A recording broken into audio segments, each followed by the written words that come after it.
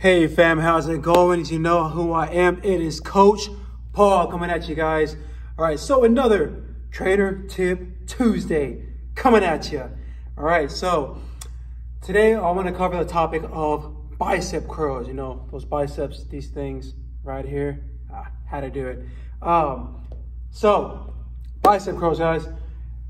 Every time they're always performing some bicep curls, there's always a common few mistakes that uh, clients are commonly making. And that's one or two things. The first thing, suppose you see me standing, guys, not good posture at all already. So rolling those shoulders back, step out so you see a side view of this camera. Now, even though the palms are starting facing each other, now I'm gonna turn back facing you. When you come up to this curl, when you come up about three quarters, when I say three quarters, as soon as you start to rotate your hands in front of hip pockets, that's where these palms must stay up. And if you notice from the side, the elbows, they do not go too far forward here. Common mistakes we see is this. Also as well, we see a swing in action. This by mindlessly doing this or throwing the back with this. Those are cheating. Those are not good bicep curls. So the one thing that you want to, or couple pointers you want to focus on with these bicep curls. All right, first things first.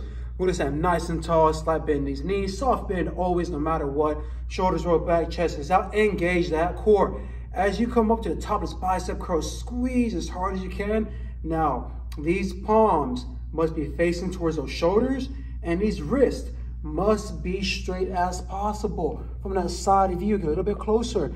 Now, when I come up to the top of this curl, my palms come up and I finish about, about you could say three quarters of the way up past that parallel at 90 degrees. If you think about it, that's probably about 75 right there. We're at 90 coming up here. That's the finishing point for your bicep curls.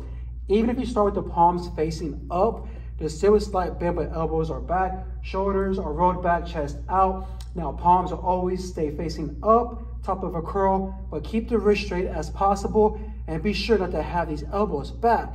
If we have those elbows back here and we're curling up, sometimes we may add too much pressure on the front of the shoulder. That'll involve that rotator cuff area.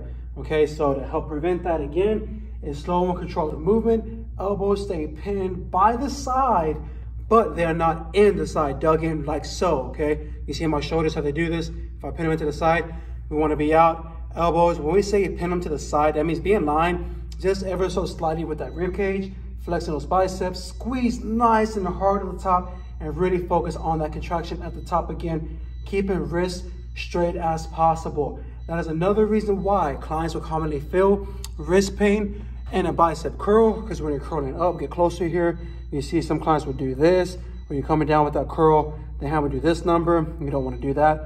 Always keep this wrist nice and straight as possible through the duration of that curl, through the bottom of a curl, even through the top of a curl. So think about getting the pinky and that ring finger towards the front of that shoulder. Front delt is what you're aiming for when you come to the top of that curl. So bam, again, like on the bicep curl. Elbow stays by side, shoulders back, core is tight. Again, getting that pinky and ring finger, aiming it towards the inside of my shoulder to really focus on that bicep head there. You see that, guys?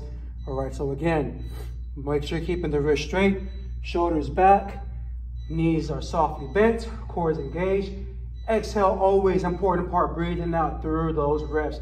Again, slow and controlled manner. You don't want to be swinging these weights whatsoever. All right, fam, so I hope that helps you out, guys.